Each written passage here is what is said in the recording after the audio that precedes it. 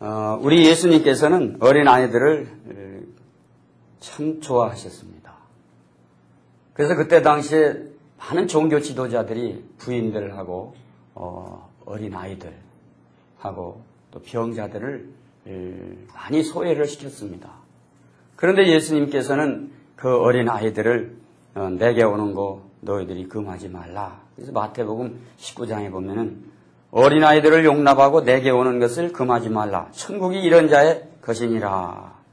그래서 예수님께서 어린 아이들에게 지대한 관심을 가지시고 이 어린아이와 같이 되지 않냐면 하나님 나라도 들어갈 수 없다.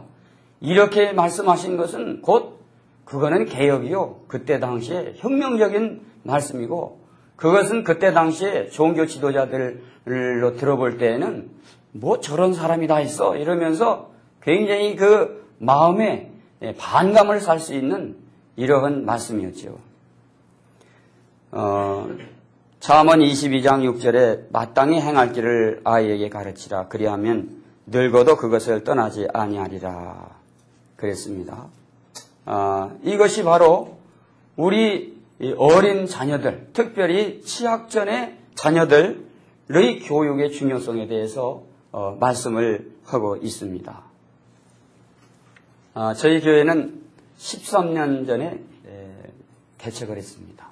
그래서 제가 전임 위에서 이제 교회가 이렇게 좀 어, 나뉘어져서 많이 소란했었는데 거기에 가서 한 10년 동안 있으면서 어 이제 그때 당시는 뭐 우리 제자 훈련에 대한 공식적인 그런 배움은 안, 안 배우고 CCC에서 어 우리가 이제 그 순 어, 활동을 이제 하다가 아 거기에서 어 한 10년 동안을 예, 거의 농촌 제자 훈련 비슷하게 이렇게 하는 과정 속에서 교회가 이제 하나가 되고 성전이 이제 건축되고 자립되고 일꾼도 세우고 그리고서 어, 저는 한 구로동 쪽이나 그 공단 아주 어려운 이웃들 있는 데 가서 제자 훈련을 하려고 생각을 하고 결단을 음, 내렸을 때에 대산이라고 하는 곳에 저는 전혀 가보지도 못했는데 에, 그 대산이라고 하는 그곳에 개척을 했는데 에, 도저히 전임자가 아, 두달 됐는데 못하겠다. 그래서 어, 참 대산에 저희 둘이 우리 아이 하나하고 이렇게 갔습니다. 가서 보니까 애들은 있는데 성도가 없고 그리고 그 어, 성도들 전도를 해보니까 뭐 열흘 돼도 스물 20일 돼도 오지를 않는 거예요. 그래서 그때 생각이 아하 어린 어린이들을 향해서 한번 해보자. 그래서 어, 개척을 예, 어린 아이들에게 전도하고 그래서 한 두 명, 세 명, 네 명, 다섯 명 이렇게 모아서 그들을 에, 공부시키면서 어, 주일학교부터 사실은 어, 어, 개척을 했습니다. 이제 13년이 에, 되어서 어, 이제 올 총 주제가 2000 어, 비전 2002 새생명 배가 역사라는 그런 총 주제를 가지고서 벌써 10년이 넘어서 이제 우리 저희 교회도 한 65달하게 예, 유아부, 유치부, 초등 1, 2, 3부, 어, 중고등부, 청년 이렇게 해서 어, 우리 한 자학년은 한 500명, 어, 우리 주일학교 어, 유아부고 유치부 어, 미취학 학전 자녀들은 한 250명, 초등부 어, 어, 자녀들은 한 200, 예, 한 20명 정도, 우리 중고등부는 한 60명 정도.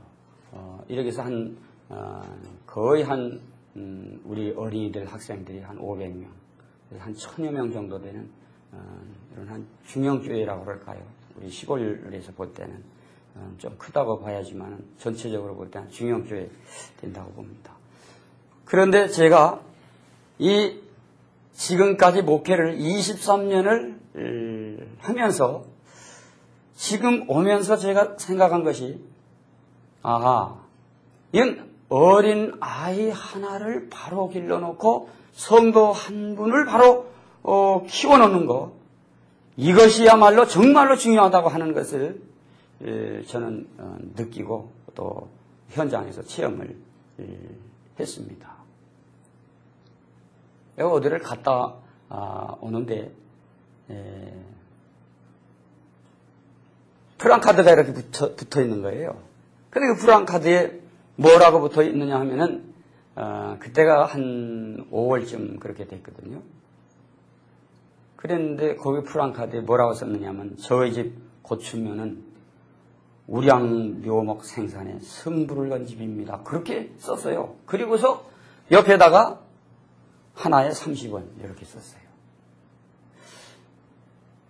그게 뭐 그냥 우습게 넘어갈 일이지만은 제자 훈련을 하고 그리고 새신자들을 중요하게 생각하고 어린 아이들을 좀 신경을 쓰는 목사로서는 그게 제 눈에 들어오고 가슴에 들어왔어요. 옳지. 아, 놀랍다. 그러면서 집 고추면은 우량 묘목의 생, 생명을 걸었다. 아. 제 목회의 현장을 다시 한번 제가 더듬어 보게 됐습니다. 그래서 돌아와서 가만히 생각해 보니까 내가 이 정도 해가지고는 안 되겠다. 성도를 온전한 성도로 어, 양육시켜내기 위해서는 거기에 또 승부를 걸어야 되고 어린아이 주일학교 아이들까지도 바로 기르기 위해서 내가 승부를 좀 걸고 해야 되겠다. 이렇게 생각을 하고 그날 그걸 보면서 큰 도전을 하여튼 어, 받았습니다. 그리고서 이제 교회 개척한 이제 88년 제가 7월 15일 예측했고 제가 9월 15일 날 이제 아무도 없는 곳에 부임해서 92년도에 교회를 이제 다시 한 20평 남짓하는 데서 하다가 옮겨가지고 어, 한 600평 정도 땅을 사서 거기에 96평 조립식을 이제 짓고 어, 거기 들어가게 됐습니다. 그러다가 1년이 지났는데 그 장소가 그냥 차버렸어요. 차버려가지고 어떻게 할 수가 없는 거예요. 그래서 어떻게 대지를 좀 넓혀야 되겠다 하고 기도를 하고 있는데 대학원 고등학교 그 교감 선생님 되시는 분이 예, 목사님 저희 이 벼랑 이 산이 있는데 이걸 안 사시려냐고 그러냐 앞으로 뭐 하시려고 그러냐 예, 전 좀 땅이 좀 넓혀지면은 어린이들과 노인들을 위해서 좀 한번 일을 하고 싶은데 지금은 제가 조금 힘이 부족해서 그 일을 못합니다. 그러니까 아이 목사님 그러면은 제가 이 땅을 어, 기왕에 예, 다른 분 주느니 목사님한테 드리겠어요. 그럼 얼마에 팔으시려고 그래요? 15만 그러니까 원은 받아야죠. 그래서 먼저 땅 35만 원에 샀는데 그 땅을 15만 달라는 거예요. 그럼 괜찮을 것 같아요. 그래서 제가 한마디 했어요.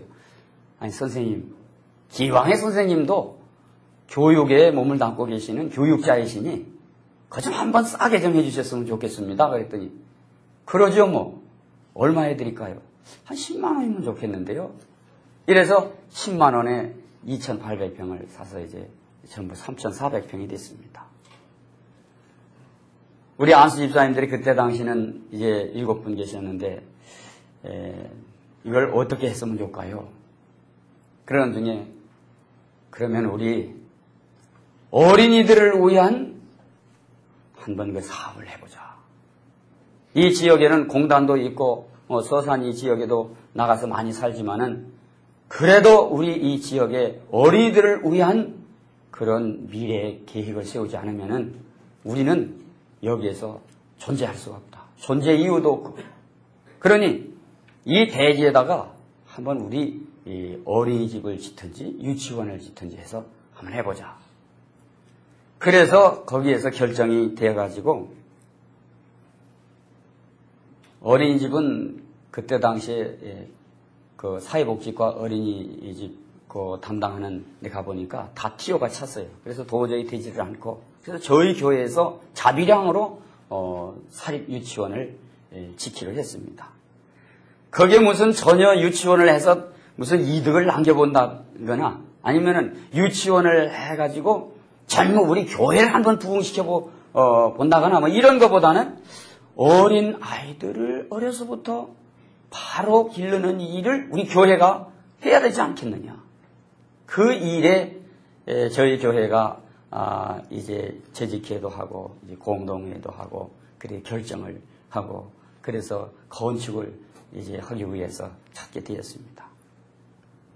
천주교에서는요 어린 아이들을 6개월만 우리 교회 에, 우리 천주교에 보내주면은 그들은 앞으로 어디를 가더라도 언젠가는 우리 천주교에 온다.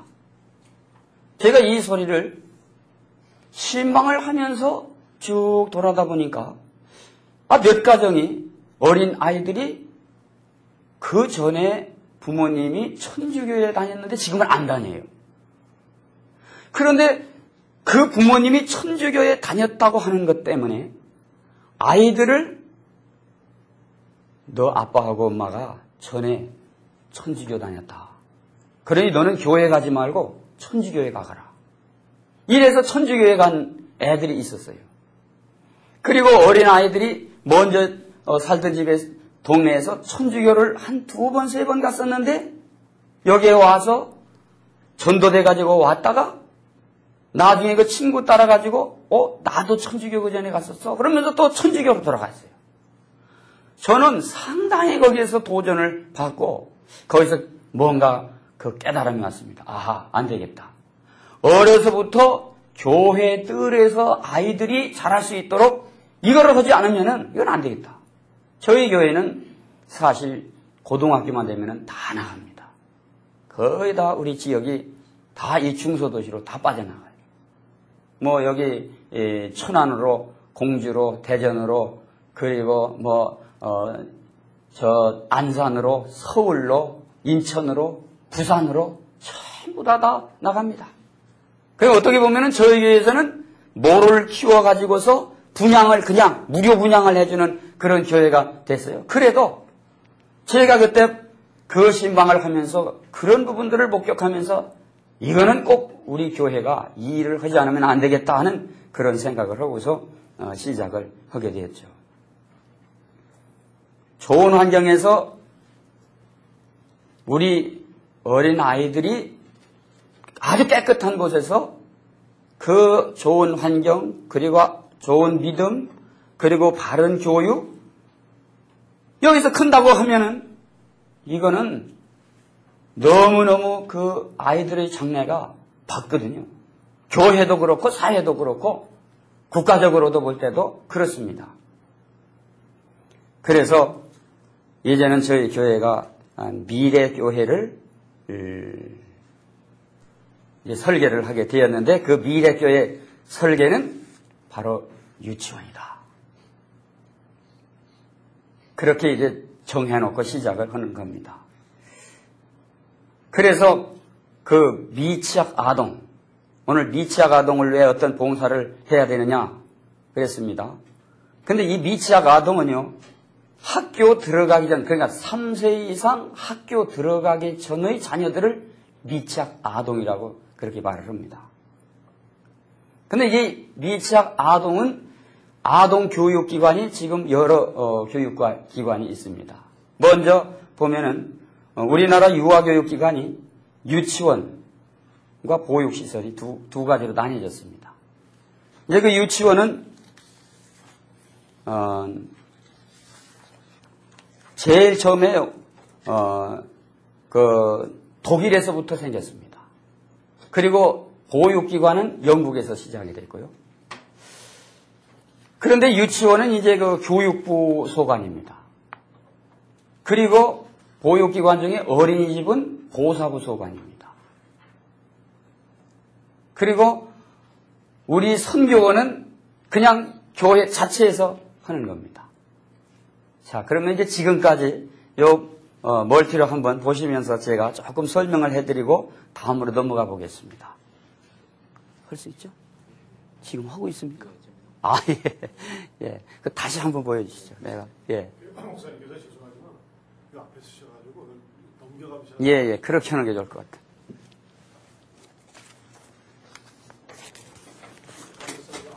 예, 됐습니다.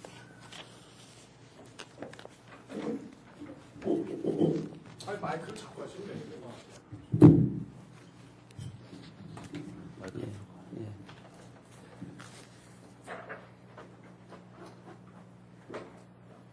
예, 예수님께서 저렇게 여기다 갖다 놔주시면.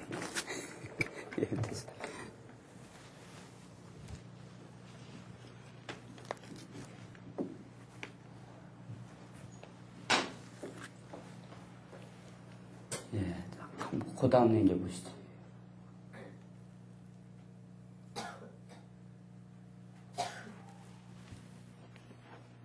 예. 요거 이제 저희 교회 지금 야, 비전 2002 새생명 배가 역사하고요. 어, 60대락 청년부 제가 아까 말씀드렸던 부분입니다. 아, 또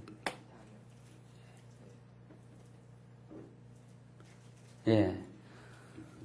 요거는 우리 어린아이 하나를 양육을 하면은 이 아이가 나중에 세상에 예, 빛이 되고 어, 소금이 되고 큰 역할을 한다는 말씀입니다.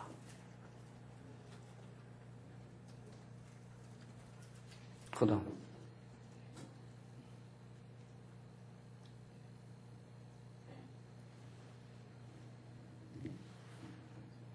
예. 예, 아이들이요, 어디를 가느냐가 굉장히 중요하더라고요. 이 첫걸음이 아주 중요합니다. 첫걸음이. 그 천주교를 가느냐, 아니면은 절에를 갔었느냐, 아니면은 그 엄마가, 아빠가 어디를 갔었느냐.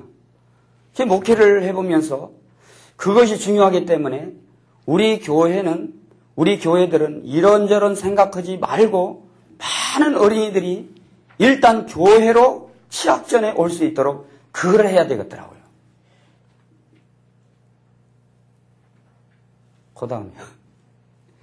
예, 이제 여기서부터입니다. 아, 그 미취학 아동이라고 하면은 유치원과 보육시설이 있는데, 예, 이 유치원은 어, 교육부 소관입니다. 그리고 교육청에서 관할을 합니다. 이 유치원을 하시려고 할 때는 지금은 어, 사실은 우리가 자립으로 어, 하셔야 됩니다. 그리고 유치원을 어, 교육부에서 어, 그 교육청에서 이제 에, 에, 그 유치원 인가를 내주는데 그 유치원을 인가 내주고도 사실은 지금은 별다른 지원은 없습니다. 없는데 그 영세민들 영세민들 영세민 카드를 가지고 오면 월 수입 지금은 아마 한 100만 원 정도 되는데 그 자녀들은 어, 그 교육청에서 어, 지원을 해줍니다. 지원을 그 원비의 전액을 지원을 해줍니다. 그러나 그 이상의 그 직장인들 자녀들은 지원이 되지를 않습니다. 그리고 특별히 그 모범적인 그 유치원, 그 유치원은 아마 아, 뭐 조금 지원이 있는 것 같습니다. 그러나 앞으로 어, 이 유치원도 어, 정부에서 어, 이 전액 이렇게 지원을 해주기 위해서 지금 이야기는 되고 있지만은 그것이 제대로 실현이 되지 않고 있습니다. 이제 보육 어, 보육 시설은 여기는 어린이집을 가리켜서 보육 시설 어린이집하고 타가소인데 이 어린이집은 어, 전에는 어, 지원을 좀 어, 어, 그래도 많이 했는데 요즘은 아마 지원이 많이 안 되는 줄로 알고 있습니다. 근데 여기는 어, 시, 그 지역의 에, 시면은 시청, 사회복지과에 가면은 어, 어린이 그 집 담당하시는 분이 있습니다. 그래서 늘 그 어린이집 담당하시는 담당자하고 서로 그 정보를 받고 교분을 갖고 그렇게 해서 어, 어, 우리 교회에서 어린이집을 에, 하시려고 하는 그 경우에는 어, 그 기회에 신청을 해서 어, 아마 그 받으셔야 될 줄로 압니다. 그리고 그 지역에서 이제 또 추천을 또 해주게 됩니다. 아, 이 타가서는 뭐 지금 음, 거의 뭐, 뭐 아마 가정적으로 해도 아마 허가가 잘 되는 줄로 알고 있고요. 이 선교원은 그 지역에 선교연, 선교원 연합회가 있습니다. 그래서 선교원 연합회에 에, 아마 가서 어, 그 보고를 하고 그러면은 그 선교원, 선교원 연합에서도 많이 도움을 주는 줄 알고 있습니다. 그런데 이 선교원은 사실은 우리나라 교육법으로 볼 때는 어, 선교 차원의 이름을 가지고 이제 커리큘럼을 이제 유치원 커리큘럼 가지고 이제 하시는데 에, 아마 그 천안 쪽 같은데 그 천안까지만 해도 어, 또 우리 서산에도 그렇고 계속 교육청으로부터 선교원을 하시지 말고 유치원으로 바꿔서 하라고 하는 그런 공문이 계속 내려오고 또 벌금까지도 나왔다고 하는 그런 이야기가 있었습니다. 아, 작년 재작년에 천안 쪽에 이제 에, 까지도 그런 그 어려움이 있었다고 합니다.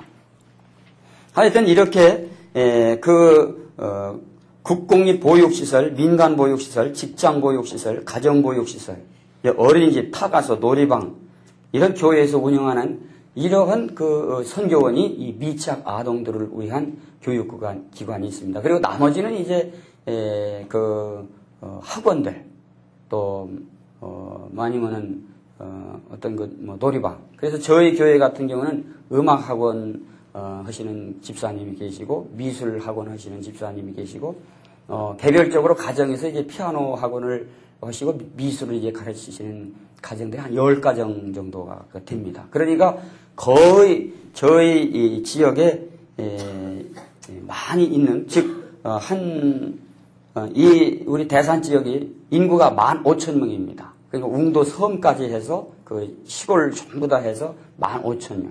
그 15,000명 중에서 어, 미취학 아동들을 에, 그 내보니까 한 1,450명이 됐습니다. 1,450명. 그 1,450명 가운데서 사립유치원이 5개소. 5개소에 547명. 근데 이 사립유치원이 현대 정유에서는 무료로 이제 유치원을 하고 있고요. 현대 석유화학에서는 어, 그 건물을 지원을 해줘가지고 어, 또 두 가운데서 하고 있고요. 그리고 저희 교회에서 이제 예, 하고 있고 또 어, 어, 병설 유치원이 이제 그 네 개소. 병설 유치원은 이제 초등학교에서 어, 하는 거거든요. 그래서 사립 유치원 다섯 개소에 547명, 병설 유치원이 네 개소에 92명, 어린이집이 다섯 개소가 있는데 248명, 그리고 교회 선교원이 있는데 한 개소에 60명.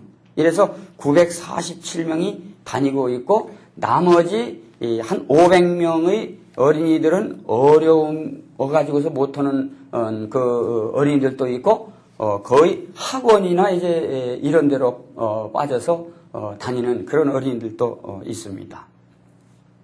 그래서 그 어린이들을 에, 저희 교회는 한 157명, 지금은 이제 두 명이 이, 더, 어, 원 6개반에서 한 180명인가를 받았습니다. 180명인가를 받았는데 우리 교회 교육 방침이 이, 많으면 안 된다.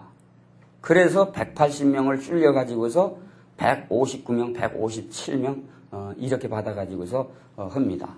그런데 이제 그, 어, 어, 157명이라고 하는 아이들이 이, 역시 그 서산시, 이, 우리 대산읍으로 볼 때는 저희 교회에서만 아, 이 유- 예, 사립 유치원을 하고 있고요. 이 서산시 이 전체로 볼 때에도 어, 저희 교회가 아, 그 사립 유치원 전체로 볼때 또 병설 유치원이라든가 뭐 회사에서 하는 유치원에서 볼 때 제일 많이 모집을 지금 이제 해서 하고 있고요.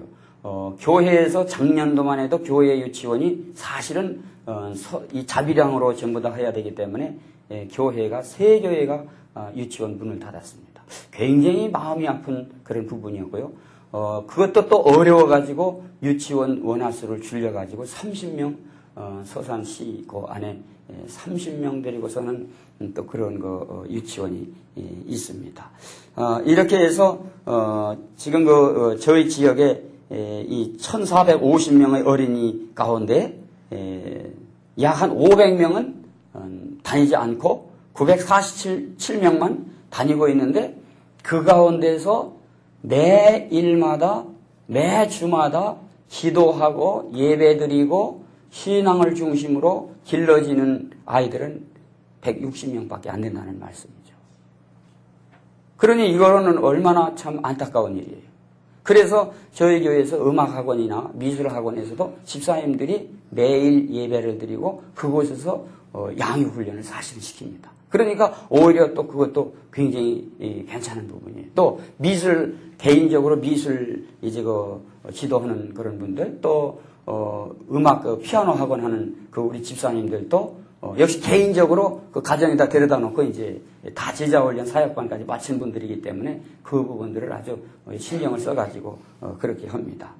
어, 그래서 어, 저희 이 교회가 한 2,800평 이 대지구에 에, 이, 이 유치원을 에, 지어가지고 어, 지금까지 오면서 이거 보통 어, 어려운 일이 아니었습니다. 지금 여기 보면은 사실은 이 교회는 깡통교회입니다. 교회는. 96평이거든요. 96평인데 지금 어, 예배를 우리가 3부로 드리고 있습니다. 3부로 드리고 있는데 제일 처음 이렇게 짓고 어, 한 1년, 2년 있다가 이, 이 예배당이 차가지고 또 본당을 지어야 되겠다고 어, 참 아우성했었는데 그때 아니다. 우리는 본당도 중요하지만 어린이들을 위한 항구적인 양육 그리고 우리 이웃들에 대한 그 봉사가 아, 없으면 안 되겠다. 사실 그 부모님들이 이, 참 자녀들 직장 가고 그 자녀들은 뭐 그 좁은 골목이 서산까지는 나갈 수 없고 어디를 보내야 되는데 보낼 데가 없는 거예요. 뭐 어린이집도 다 차 있죠. 어, 학원도 다 차 있죠. 그러면 갈 데가 없으니까 저희 교회 애들이 하여튼 이곳저곳에서 어, 그 어, 연초만 되면은 어디로 가야 될까를 방황하면서 그 난리 난리가 났습니다. 그래서 아, 그러면은 우리 교회 애들 뿐만 아니고 안 믿는 우리 이웃들 애들까지라도 한번 그 일을 해보자. 그렇게 해서 했는데 거의 어, 유치원을 지어놓고 어, 저희, 저희 교회가 아이들이 너무너무 많이 밀려가지고 어, 그 전날 벌써 10시, 아침 10시만 되면은 그 부형들하고 어, 와가지고 텐트 가지고 와서 어, 식사를 거기서 밥을 지어 먹어가면서 이틀, 하루 반 이상을 꼬박 기다리면서 그러면서 그 자기 자식을 유- 그 교회 유치원에 넣기 위해서 장사지는 일입니다. 그래서 제발 그러시지 말라고. 아, 여기 들어오셔서 좀 편히 여기서 저 식사라도 해서 여기서 잡수시라고. 우리가 해드리겠다 그러는데 내가 내 자식을 위해서 내가 이 고생하는데 뭐, 나는 아무렇지도 않습니다. 아무 걱정하지 말고 편하게 저희들에게 신경 쓰지 말라는 거예요. 안 믿는 사람들도. 그러니까 그렇게 교회를 몇 번 그분들이 교회에 대해서 호감을 가지니까 그게 전도되는 거는 참 별 것이 아니더라고요. 그래서 저희가 벌써 4년 됐으니까 그때가 언제입니까? IMF 왔을 때거든요. 굉장히 어려울 때입니다. 그래서 굉장히 어려울 때인데, 에, 지금 저렇게 이제 산이 지금 이제 벼랑인데 여기에 2,800평을 이제 샀어요. 사가지고 그거를 이제 지금 전부 다, 아, 다 메꿔가지고서 형질 변경해서 메꿔가지고 지금 유치원 이제 기공 예배를 지금 어, 드리고 있는 겁니다. 사실 이 교회가 지금 꽉 차 있어가지고 깡통 교회가 차 있는데 유치원 3층을 240평을 짓는다. 그러니까 우리 동역자들이요 목사님은 미쳤다는 거예요. 어떤 저희 집사님 한 분은 와가지고 저는 절대로 유치원 건축하는데 일 안 하겠습니다. 그러더라고요. 야, 참 그때는 내 마음이 출렁했는데 나중에 에, 이렇게 기공식 예배 드리고 이제 유치원이 이, 이제 지금 지어져 갑니다. 또 한번 남겨보세요.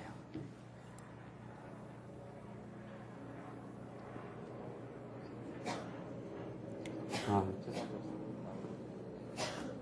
예. 예, 지금 이제 예, 유치원이 지금 이렇게 지어졌습니다. 지금 이제 3층으로 지어지고 어, 앞에 지금 또 다시 예, 지금 정돈을 지금 하고 있습니다. 아, 너무 이 유치원을 150평을 153평을 짓고 보니까 부족돼요 너무. 그래서 이 앞에 이제 또 유치원을 또 지려고 지금 요 지금 복토를 해가지고 프로도자 아, 이제 지금 밀고 있는 것입니다. 그래서 지금 현재 상태로는 어, 교회가 이제 이, 이 정도 지금 교회가 있고요. 어, 여기는 지금 유치원이 있고요. 어, 지금 요 앞에 에, 지금 요, 요 조립식 건물로 요 유치원이 지금 다시 지어져 있습니다. 그리고 이 앞에는 이제 운동장이고요. 요, 요 지금 길이 이제 이쪽으로 길이 나 있고, 어, 그리고 저 위에는 이제 망일산이라고 여기 공군 부대입니다. 그리고 이제 이 앞에는 한 500세대 되는 풍림 아파트가 있고요. 저쪽으로 가면은, 어, 현대 정유, 어, 현대 정유, 현대 석유, 이제 사택이, 예, 한, 한 1200가구 정도, 어, 예, 그렇게 됩니다. 아, 그래서 저, 렇게 지어놓고 보니까 아주 전원의 이, 그 유치원이 됐어요. 그러니까 서산 이쪽에서 어, 유치원을 볼 때 제일 전원의 그 유치원이고 또 어, 차가 아, 우리 유치원을 위해서 어, 올해도 저희 교회에서 차를 다섯 대 이제 샀는데 45인승 두 대를 올해 이제 다시 바꿨습니다. 그리고 32인승 한 대 있고 봉고차 두 대 또 이제 사고. 그래서 그 차를 운행을 하는데 그 차도 아주 그 제일 베테랑 되시는 그 집사님들 두 분이 예, 이제 하시죠.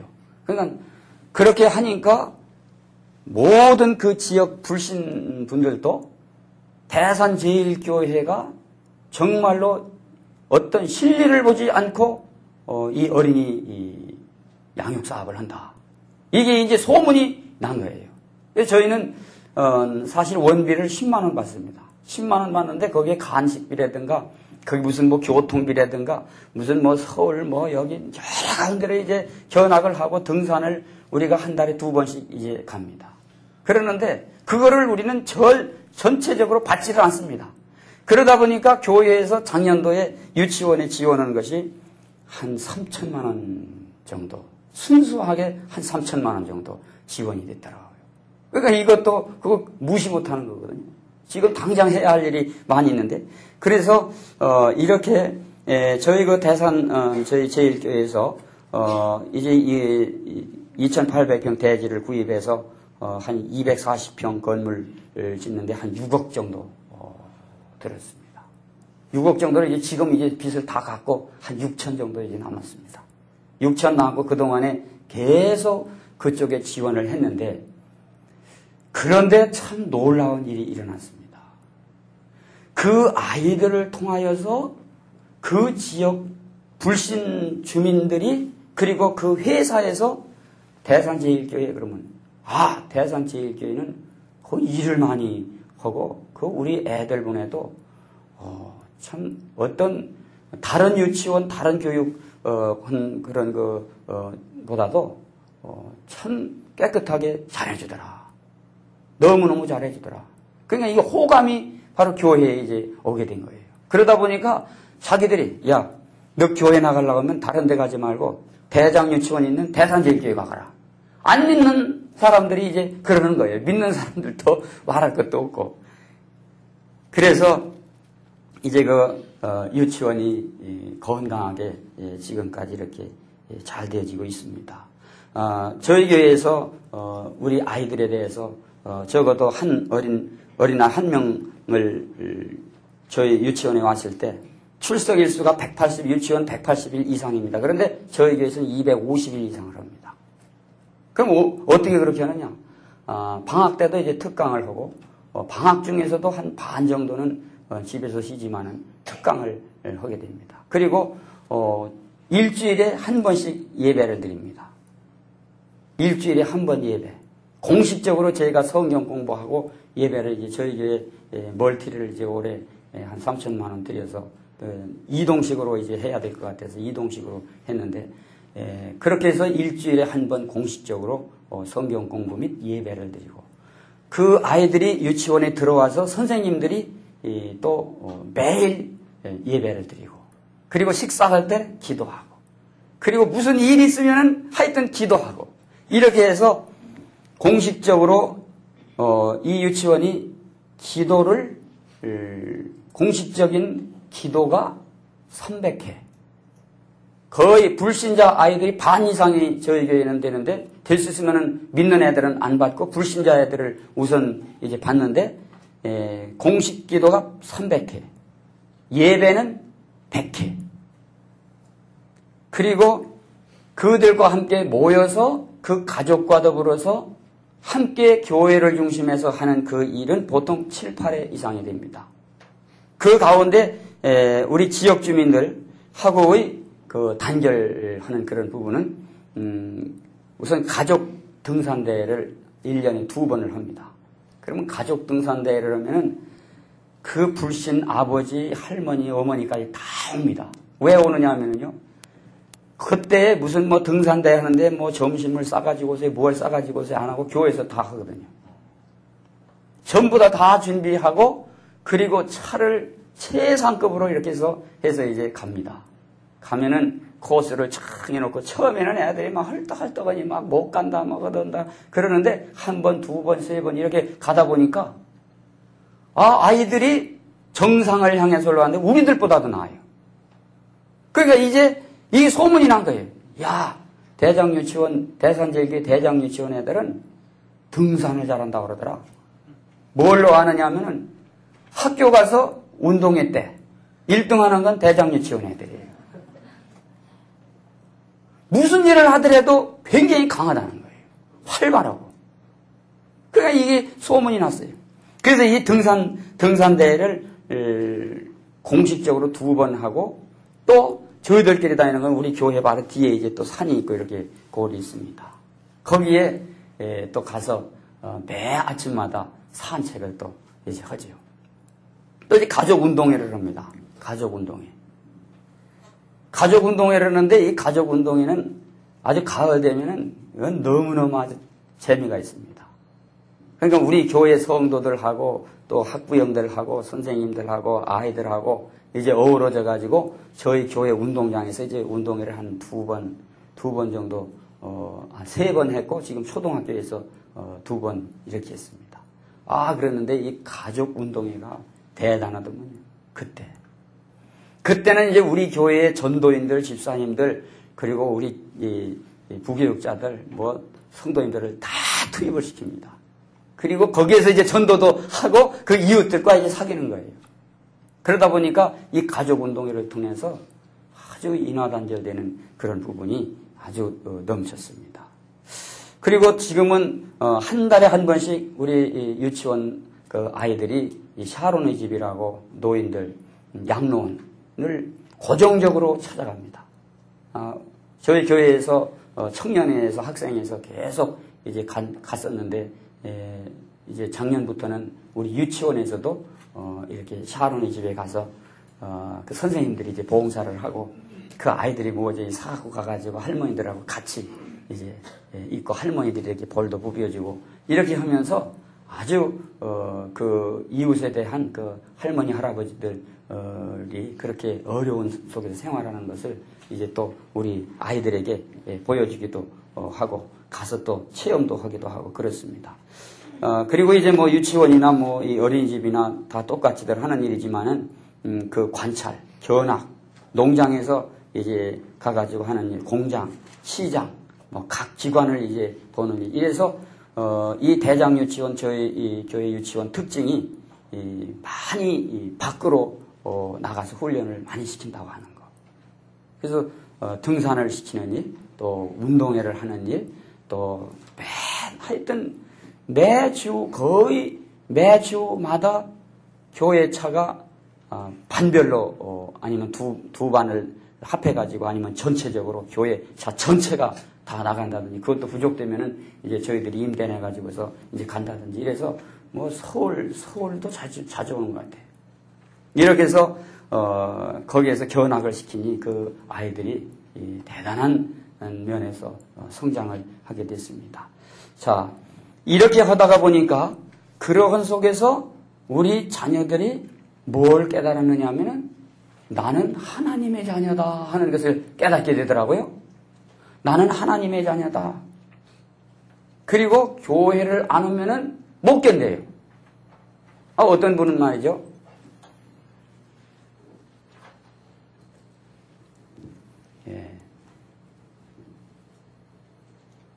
예, 여기는 지금 우리 지- 그 저쪽은 그 유치원 애들이 지금 성탄절 때그 별도로 우리 주일 학교에서 하는 것이 아니고 유치원에서 어, 성탄 축하 행사를 지금 하고 있는 거고요. 이것도 축하 행사 그 부모님들하고 지금 또 별도로 합니다. 그러니까 축하 행사를 우리가 성탄절 되면 두 번, 두 번을 합니다. 유치원에서 똑같이 그렇게 다 준비해가지고 하고, 교회에서 또 준비해가지고 어, 하고. 또 요거는, 어, 새 가족들 이제 뭐 거의 이제 유치원 그 가족들 뭐 이렇게 해서 전도돼 가지고 나와서 새 가족들 이렇게 하고. 요거는 우리 유치원 애들이 시학반이 돼 가지고 올라가서 어, 지금 또, 어, 아마 그, 어, 여기 부활절 때 되는 것 같습니다. 그때 이제 예, 또 행사하는 겁니다. 어, 이렇게 해서 저희 그 어, 린 아이들이 이, 이제는 어, 느 정도의 그 변화가 있느냐 하면은 자기 집에 가가지고 자기 부모님한테 엄마 아빠 교회 에 가자고 예수 믿어야 구원받고 하나님을 섬겨야 된다고. 그래서 애들이 처음에는 부형들이 전화가 많이 왔었습니다. 아, 선생님들이 아주 눈물을 많이 흘렸어요. 왜 교회에서 교회에서 한다고 그렇게 예, 기독교 교육을 많이 시키느냐? 오기만 하면은 찬송, 오기만 하면 전도, 그냥 간다고 하면은 주일날 교회 간다고 그러니 그거 어떻게 된 교회냐? 그래서 그렇게 안 할 수 없느냐? 그래서 처음에 저희들이 저희들이 해당처에 들어오실 때 예, 교육청에서도 매 주마다 특별 예, 종교 교육을 시키게 되어 있고 또 저희 교회는 그렇게 안 할 수가 없습니다. 그래서 이제 결국에 그 부모님들까지도 나중에는 다 수긍이 이제 됐어요. 어떤 가정에서는 어, 올 초파일 그날 절에 갔어요. 절에 가가지고 그 엄마 아빠가 불공을 드리는데 예, 그 불공 드리면서 그 절을 막 이제 예, 하고 예 너도 이리 와서 절해라 절해라 그러니까 아 애가 절뜰에서 찬송을 부르고 있는 거예요. 그 찬송을 부르고 있어서 이제 한두 곡 하면은 그만하겠지 그랬는데 아 찬송을 계속 부르는 거예요. 그래서 그 부모님이 절을 하다 말고 애를 데리고 도로 내려왔습니다. 그리고 이런 아이들이 아주 불, 불교에 아주 그냥 심취됐던 그런 부모님들이 바꿔가지고서 교회로 나오는 이런 역사가 뭐, 이건 뭐 특별히 뭐 한두 명 정도가 있는 게 아니에요. 그래서 제자 훈련을 하다 이야기를 쭉 들어봅니다. 이제 유치원 아이들 이야기를 들어보면은 아, 너무너무 감사한 것이 작년보다도 올 아이들이 확실하게 더 어, 생활이 반대되졌다. 그 어떤 면에서 그러냐? 그러니까 우리 집 애가 집에 오기만 하면은 벌써 그 전에 하던 거하고 전혀 다르게 자기가 할 것도 잘 하고 어, 교회 갈 때는 엄마 아빠를 오히려 어, 가자고 흔들고 교회 가라고 그러고 찬송을 부르고 애들을 데리고 오고 그리고 너무너무 활달해졌다는 거예요. 마가복음 4장 30절에서 32절을 보면은 우리가 하나님의 나라를 어떻게 비하며 또 무슨 비유로 나타낼고 겨자씨 한 알과 같으니 땅에 심길 때에는 땅 위의 모든 씨보다 작은 것이로되 심긴 후에는 자라서 모든 나물보다 커지며 큰 가지를 내니 공중의 새들이 그 그늘에 깃들일 만큼 되느니라. 처음에는 겨자씨 한 알이야 너무너무 적은 거 아닙니까? 겨자씨는 배추 뭐 두 가지 종류 되면요 한 배추 씨 정도 어, 그 정도 되는 씨더라고요. 그런데 겨자 씨가 그 갈릴리 바다에 그 팔복산 올라가는 데가 쭉 올라가는데 그 겨자 나무가 쫙 이렇게 에, 에, 그 세워져 있는데 그 씨는 아무것도 아니에요. 그런데 그것이 크면은 한 2m, 3m까지 올라가고 한 1.2m, 1m 이상이 다 된단 말이에요. 그런데 거기에 새들이 막 찢어지면서 노래를 해요. 우리 어린 아이가 뭘 하겠느냐? 무슨 힘이 있겠느냐? 그렇지만은 너무너무 대단합니다. 자, 한번 넘겨주세요.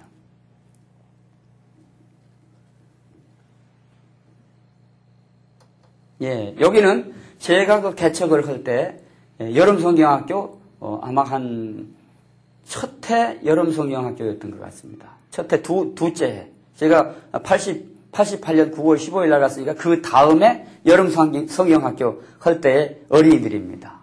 한번 넘겨주시죠.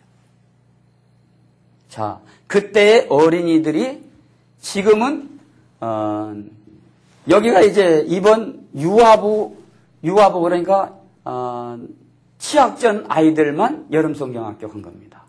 이 치학 후에 이제 주일학교 초등 1, 2, 3부는 이제 더 어, 굉장합니다. 근데 그 사진을 여기 안 넣습니다. 자, 전에 그 어린 아이들이 여름 성경학교를 예, 그거는 이제 초등학교 6학년까지도 있었는데 요 아이들은 치학전 아이들입니다. 요 아이들이 뭐 그 대산에 다 그러느냐? 아닙니다. 저희 교회는 그 사택에서부터 그 지역에서부터 교회 28교회가 있는데 16교회를 거쳐가지고 제일 끝에 우리 교회입니다. 제일 끝에. 근데 그 아이들이 지금 다 이게 부모님들하고 이게 선생님들하고 이게, 나온 겁니다. 저희 교회 선생님들이 73명인데 그 73명 가운데 지금 이 유, 지금 유아부 어, 지금 여름 성경학교가 지금 이렇게 하고 있고요. 지금 이것도 이번 여름 성경학교 유아부 아이들이 이제 지금 이렇게 하고 있고요. 여기도 어 요거는 이제 그 영아부 애들 영아부 애들만 지금 이제 하고 있고요. 저거는 교사 일부분만 이제 찬양을 하는 겁니다. 자 이렇게 조그만 어린 아이 몇 명이 우리 교회에서 정성을 들이면 그저 10년 정도만 있으니까 이렇게 엄청난 숫자가 돼버리는 거예요.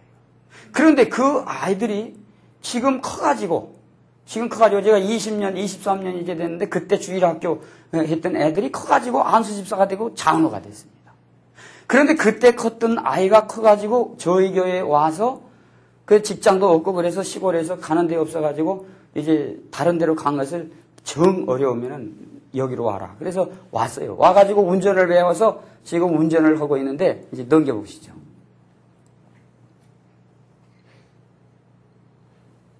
네, 요거는 여름성경학교 이번에 에, 하는 속에서 그 아이들 이제 발, 아, 요거는 저, 저, 그 뭡니까 솜사탕 만들어 주는 거고요. 요거는 그 성경학교 할때 여기 이제 물놀이 요건 이제 영아부 아이들 어립니다. 여기 저희 교회 이제 이렇게 그 샘처럼 만들어 놓는데 여기서 지금 이제 노는 거고요. 저거는 이제 그 우리 그 조선옥 집사님이 선생님이 지금 기도를 이제 애들하고 하는 겁니다.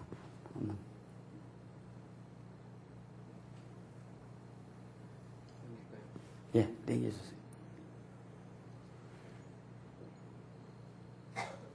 예. 예. 여기는 뭐 저희 교회 그 어, 가정의 달의 예, 모범 모범 가정 어, 이 가정 전체가 다 나오는데 이번에 이제 표창을 한번 해봤습니다. 그랬더니 굉장히 좋아하시더라고요. 어, 여기는 이제 장학금 저희 교회에서 장학금 지불을 이제 매해 이렇게 하는데 예, 이렇고 여기는 이제 우리 교회 그 선생님들이 예, 이제 그 이제 저희 교회는 그 정신질환자들이 있는데 고정적으로 가서 해주고 양로원에 가서 이제 해주고 복지원에 가서 이제 해주고 어 의료원에 가서 예배 드려주고 그 발 닦아주고 대화 나눠주고 이제 호스피스 비슷하게 이제 그런 부분을 지금 하고 있고요. 여기는 이제 일반 개인 가정에 가가지고 거동 불능 그 이웃들을 이렇게 찾아가서 설거지를 해주고 이제 이렇게 뭐 옷도 입혀주고 뭐 어, 해줍니다. 이런 가정을 이제 저희들이 이 작년 재작년까지만 해도 한 열 몇 가정을 했는데 그 가정들이 거의 다 또 전도돼 가지고 또 나왔어요. 나온 것이 보통 한 10리 20리 되는 속에서 다른 교회에서는 거기 손을 가지를 못하는데 이제 저희 교회 그분들이 이제 나와가지고 저희 교회 차가 새벽부터 돌아오면은 2시간 돌아가지고서 이제 옵니다. 섬까지 들어갔다가 이제 나오게 됩니다. 또 한번 넘겨보시죠.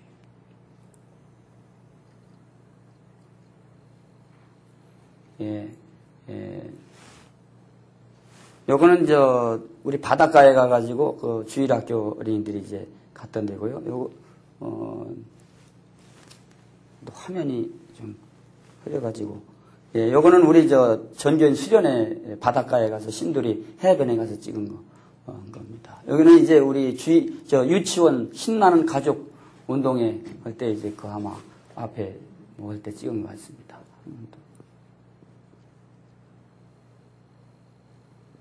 예, 요건 이제 아까 나왔던 거고요. 예, 이제 여기 아마 마지막 되는 것 같습니다. 자, 이 아이가 요 사람이 여기 최성목이라는 학생이거든요.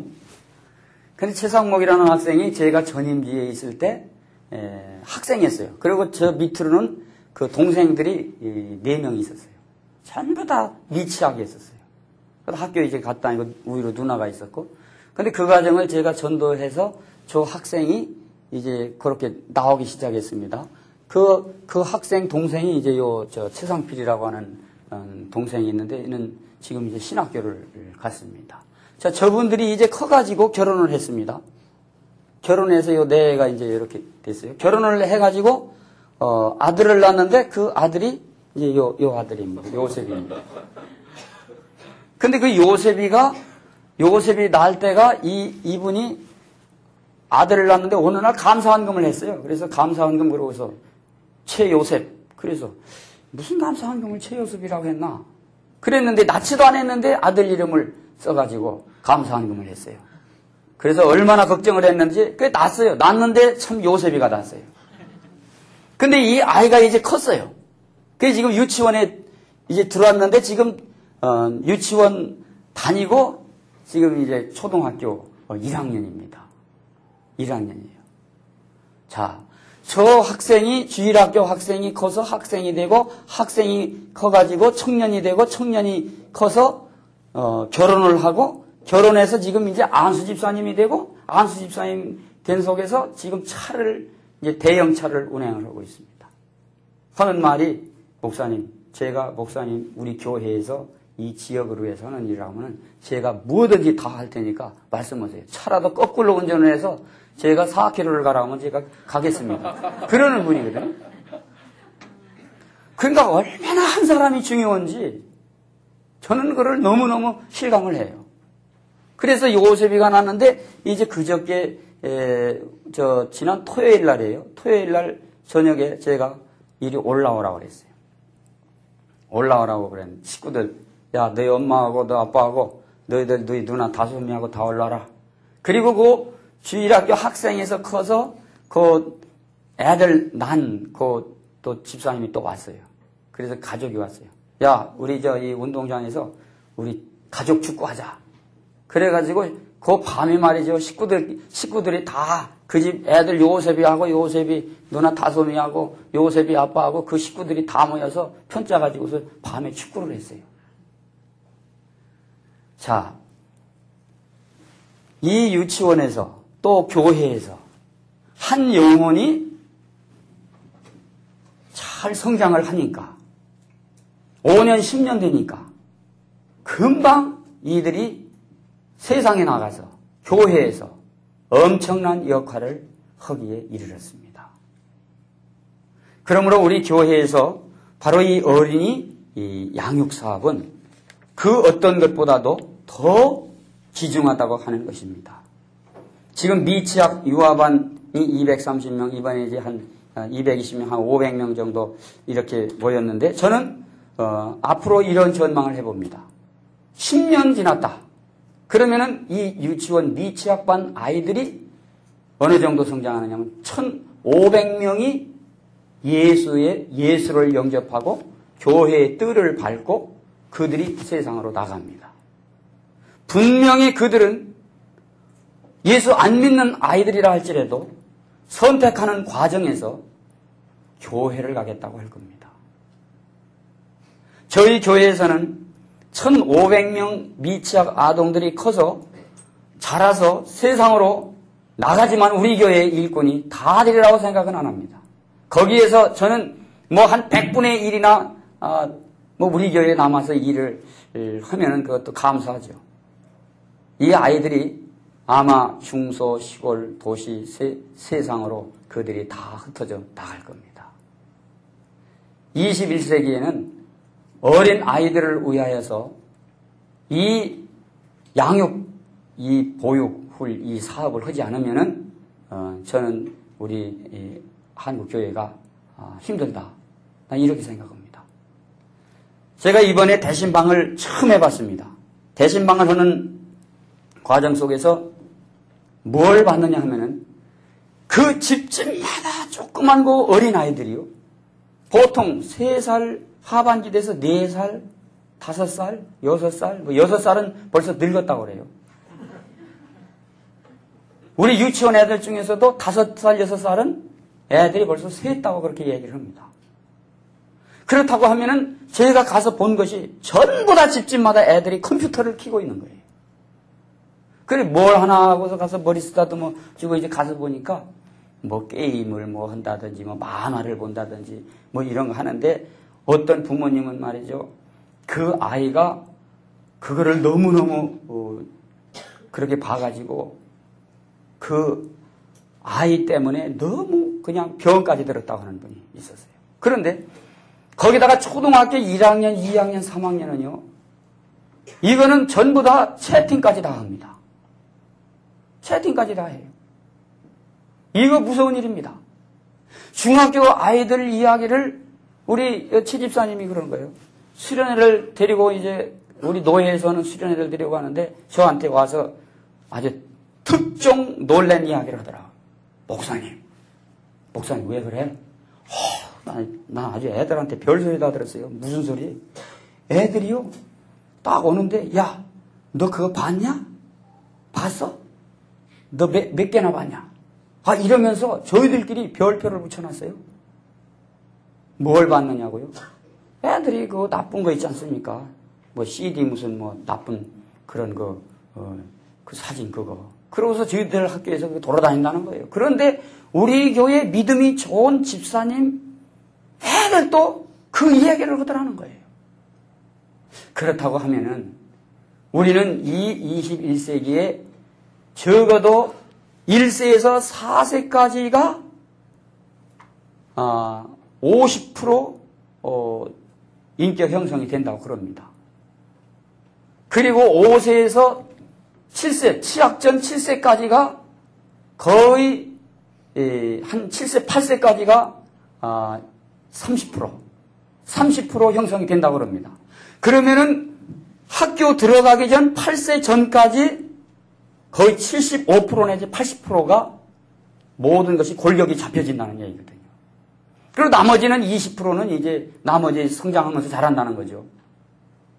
그러면은 우리는 지금 미취학 아동들에 대해서 어떻게 해야 할 것인가 하는 것은 당연히 해답이 나왔습니다.